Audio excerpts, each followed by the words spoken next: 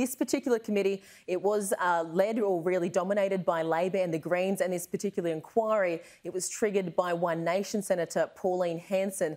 So the committee chair, Sarah Hanson-Young, this is what she had to say yesterday.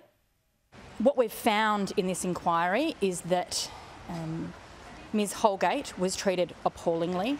She was humiliated by the Prime Minister in question time, and that humiliation sealed her fate.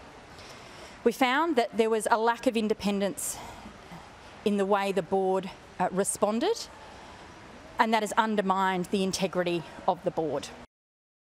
This report, while scathing, it isn't really likely to amount to much. The Liberal National senators who were on the committee, they rejected these key recommendations. They insist that Communications Minister Paul Fletcher never made a formal direction for Holgate to stand aside, though he did uh, communicate with the board directly. Now, his office released a statement overnight. It says the government has consistently acknowledged that Ms Holgate was an effective chief executive of Australia Post, and I congratulate her on her new role at Global Express.